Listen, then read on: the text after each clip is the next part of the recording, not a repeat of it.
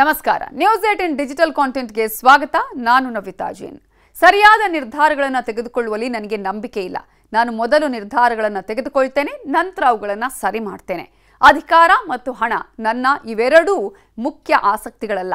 ಇದು ಭಾರತ ಮೆಚ್ಚಿದ ಉದ್ಯಮ ರತ್ನ, ಬಡವರಿಗಾಗಿ ಮಿಡಿದ ಮನ, ಕೋಟ್ಯಾಂತರ ಭಾರತೀಯರ ಸ್ಫೂರ್ತಿ, ದೇಶದ ಅಗ್ರಗಣ್ಯ ಕೈಗಾರಿಕೋದ್ಯಮಿ, ಪದ್ಮವಿಭೂಷಣ ರತನ್ ಟಾಟಾ ಅವರ ಮಾತು. ಕೋಟ್ಯಾಂತರ ಭಾರತೀಯರ ಸ್ಫೂರ್ತಿ ದೇವರೆಡೆಗೆ ಸಾಗಿದ್ದಾರೆ. ಸಾವಿರದ ಒಂಬೈನೂರ ಮೂವತ್ತೇಳರಿಂದ ಎರಡು ಸಾವಿರದ ಇಪ್ಪತ್ನಾಲ್ಕರವರೆಗೆ ರತನ್ ಟಾಟಾ ಎರಾ ಹೇಗಿತ್ತು? ಸಾವಿರದ ಒಂಬೈನೂರ ತೊಂಬತ್ತೊಂದರಲ್ಲಿ ಟಾಟಾ ಸನ್ಸ್ನ ಚೇರ್ಮನ್ ಆಗಿದ್ದ ರತನ್ ಟಾಟಾ ಎರಡು ಸಾವಿರದ ಹನ್ನೆರಡರವರೆಗೂ ಈ ಹುದ್ದೆಯಲ್ಲಿದ್ದರು. ದುಡಿದ ಹಣವನ್ನ ಸಮಾಜಕ್ಕಾಗಿ ದಾನ ಮಾಡಿದ ಧೀರ ರತನ್ ಟಾಟಾ. ಭಾರತದ ಹಿರಿಯ ಕೈಗಾರಿಕೋದ್ಯಮಿ ರತನ್ ಟಾಟಾ ಅವರು ತಮ್ಮ ಎಂಬತ್ತಾರನೇ ವಯಸ್ಸಿನಲ್ಲಿ ಜಗತ್ತಿಗೆ ವಿದಾಯ ಹೇಳಿದ್ದಾರೆ. ಯಾವುದೇ ಐಡೆಂಟಿ ಅವರಿಗೆ ಅಗತ್ಯ ಇರಲಿಲ್ಲ. ಮಹಾನ್ ದೈತ್ಯರೂ ಸಾಧಿಸಲು ಸಾಧ್ಯವಾಗದಂತಹ ಅನೇಕ ಸಾಧನೆಗಳು ಅವರ ಹೆಸರಲ್ಲಿದೆ. ರತನ್ ಟಾಟಾ ತನ್ನ ಇಪ್ಪತ್ತೊಂದನೇ ವಯಸ್ಸಿನಲ್ಲಿ ಟಾಟಾ ಗ್ರೂಪ್ನ ಅಧ್ಯಕ್ಷರಾದ ನಂತರ ಕಂಪನಿಯನ್ನ ಹೊಸ ಎತ್ತರಕ್ಕೆ ಕೊಂಡೊಯ್ಯೋದಕ್ಕೆ ಶ್ರಮಿಸಿದ್ದಾರೆ. ಈ ಪ್ರಯತ್ನದಲ್ಲಿ ಅವರು ಸಕ್ಸಸ್ಸೂ ಆಗಿದ್ದಾರೆ. ಮಧ್ಯಮ ವರ್ಗದ ಕಾರಿನ ಕನಸನ್ನ ನನಸು ಮಾಡುವಲ್ಲಿ ರತನ್ ಟಾಟಾ ಅವರ ಪಾತ್ರ ಅತ್ಯಂತ ದೊಡ್ಡದು. ಅಷ್ಟೇ ಅಲ್ಲ, ಭಾರತದ ಬೆಳವಣಿಗೆಯಲ್ಲಿ ರತನ್ ಟಾಟಾ ಅವರ ಪಾತ್ರ ಪ್ರಮುಖವಾಗಿತ್ತು.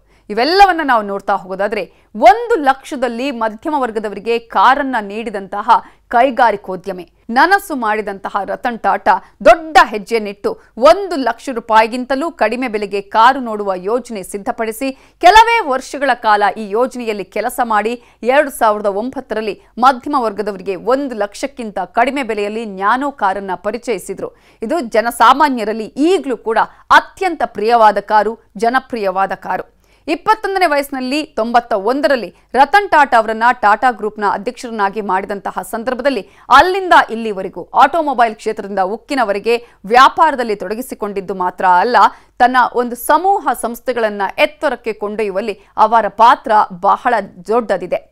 ಶತಮಾನದ ಹಿಂದೆ ಅವರ ಮುತ್ತಜ್ಜ ಸ್ಥಾಪಿಸಿದ ಕಂಪನಿಯನ್ನ ಎರಡು ಸಾವಿರದ ಹನ್ನೆರಡರವರೆಗೂ ಮುನ್ನಡೆಸಿದ್ರು. ತೊಂಬತ್ತಾರರಲ್ಲಿ Tata telecom company Tata tele services ಅನ್ನ ಸ್ಥಾಪಿಸಿತು. ಎರಡ್ ಸಾವಿರದ ನಾಲ್ಕರಲ್ಲಿ ಟಾಟಾ ಕನ್ಸಲ್ಟೆನ್ಸಿ ಸರ್ವಿಸಸ್ ಮಾರುಕಟ್ಟೆಯಲ್ಲಿ ಪಟ್ಟಿ ಮಾಡಲಾಯಿತು. ಹೀಗೆ ಬಾಲ್ಯದ ದಿನಗಳನ್ನು ನಾವು ಗಮನಿಸ್ತಾ ಹೋಗೋದಾದ್ರೆ ರತನ್ ಟಾಟಾ ಅಮೆರಿಕಾದಲ್ಲಿ ಕೆಲಸ ಮಾಡ್ತಾ ಇದ್ರು. ಅಲ್ಲಿಯೇ ಓದಿರೋದು ಕೂಡ.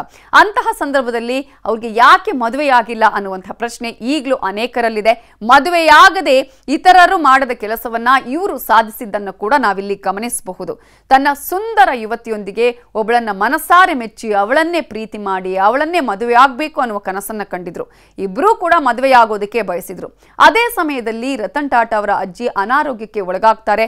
ಪರಿಣಾಮ ಅವರು ಭಾರತಕ್ಕೆ ಬರಬೇಕಾಗುತ್ತೆ. ಅದೇ ಸಂದರ್ಭದಲ್ಲಿ ಭಾರತ ಮತ್ತು ಚೀನಾ ದೇಶಗಳ ನಡುವೆ ಯುದ್ಧ ನಡೆಯುತ್ತೆ. ಇದರಿಂದ ರತನ್ ಅವರ ಪ್ರೀತಿಯ ಹುಡುಗಿ ಭಾರತಕ್ಕೆ ಬರೋದಕ್ಕೆ ಸಾಧ್ಯ ಆಗೋದಿಲ್ಲ. ಕಾರಣ ಒಂದ್ ಕಡೆ ಅವರ ಮನೆಯವರು ಇಲ್ಲಿಗೆ ಬರೋದಕ್ಕೆ ಒಪ್ಪೋದಿಲ್ಲ. ಇದರಿಂದಾಗಿ ಅವರು ತಾನು ಪ್ರೀತಿಸಿದ ಹುಡುಗಿಯನ್ನು ಬಿಟ್ಟು ಇನ್ನೊಬ್ಬರನ್ನ ವರಿಸೋದಿಲ್ಲ ಅಂತ ಹೇಳಿ ತನ್ನ ಮದುವೆಯನ್ನೇ ತ್ಯಾಗ ಮಾಡ್ತಾರೆ.